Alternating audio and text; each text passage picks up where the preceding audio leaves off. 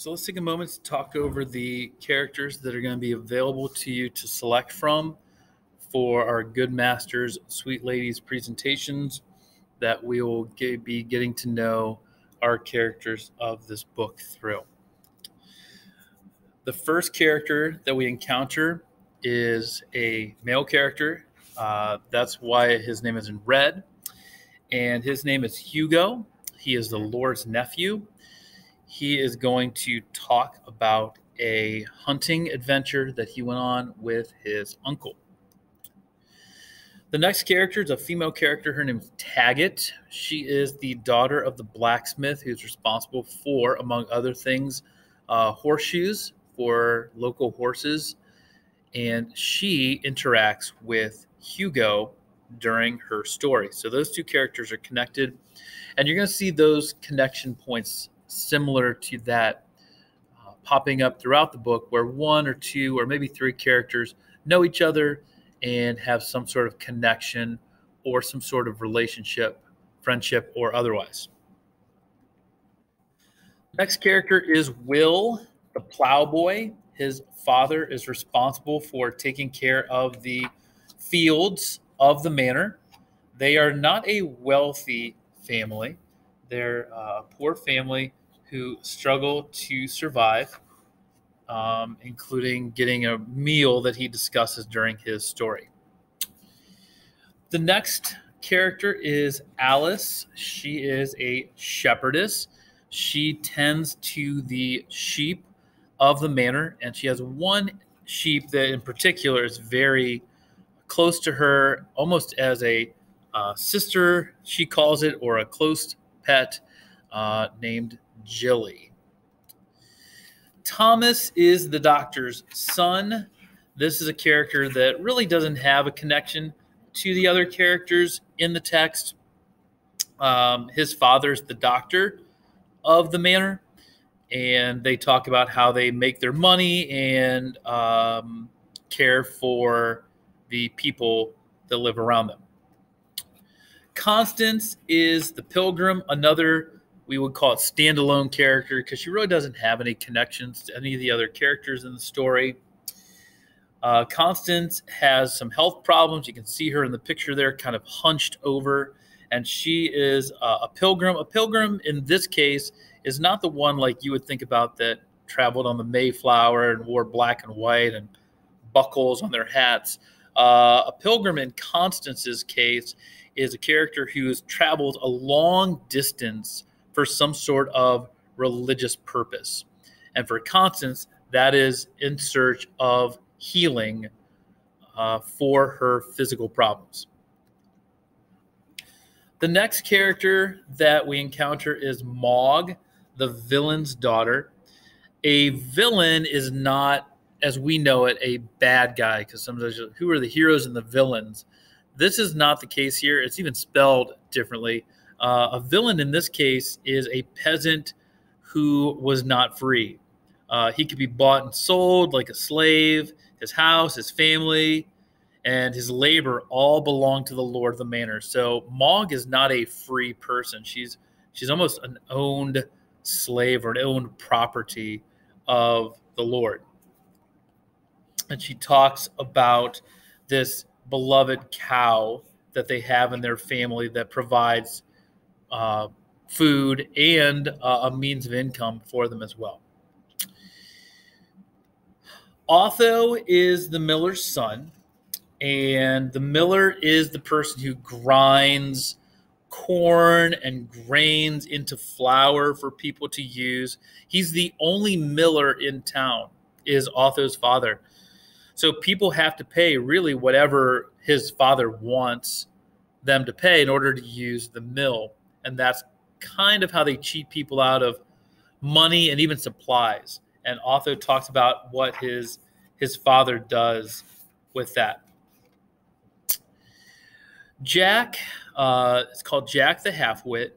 It is a character who most people around him think he's he's different, he's a little slow, but when you hear Jack talk, he's not what people believe him to be. He's much smarter than people give him credit for.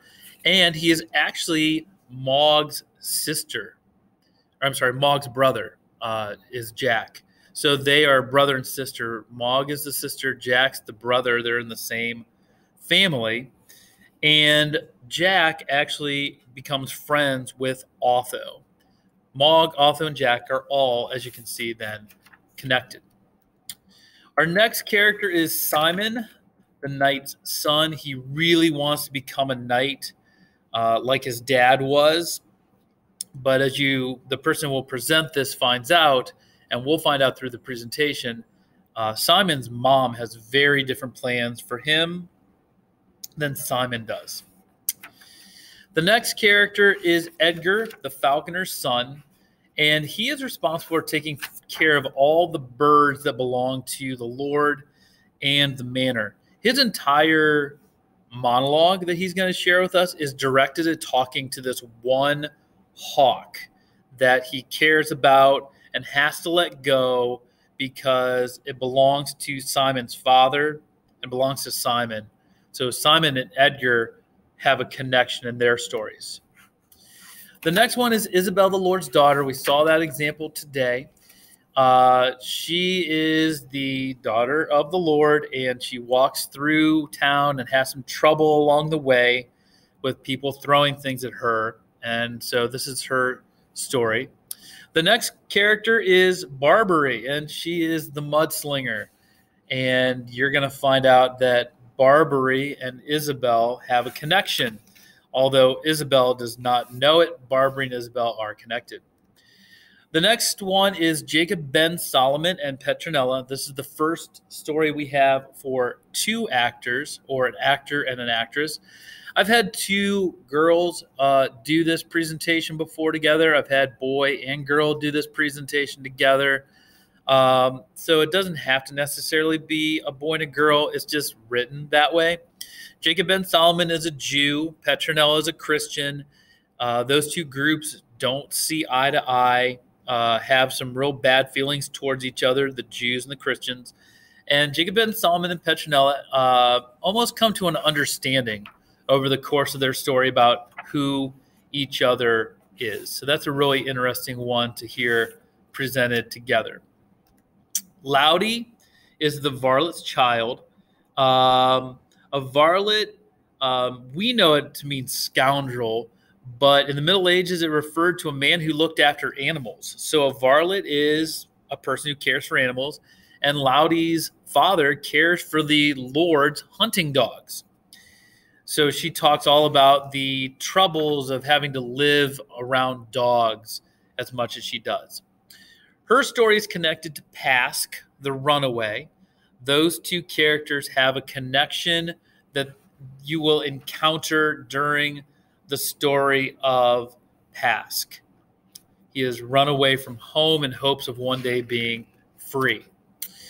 The next character is Piers. He is a glassblower's apprentice. Apprentice is a person who uh, goes to work for somebody who already has a job. In this case, a glassblower who makes um, different items out of glass by heating it and shaping it. And Piers is his apprentice. It's almost like an internship where he's learning the job. And when Piers gets good enough, he'll go into business on his own. The second and final dialogue is between Mariot and Maud. They are sisters, and they are connected to Piers's story because they are the daughters of the glass blower. And those two stories, Piers and Mary and Maud, are connected to each other.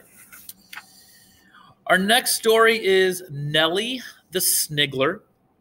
Uh, a sniggler is a person who goes out and fishes uh, in the streams around the manor, but uh, they're not looking for fish. Uh, a sniggler is actually a person who catches eels, those slippery, slimy, snake like things in the water. Uh, and they catch them by dangling bait into the holes above the riverbank like a fisherman. And they were a reliable source of protein during the Middle Ages. So Nelly is a sniggler. She has her story connected to Drogo, another example we saw today. The tanner's apprentice, he's learning to become a leather worker, making bagpipes and gloves and riding saddles. And that comes uh, as a messy job.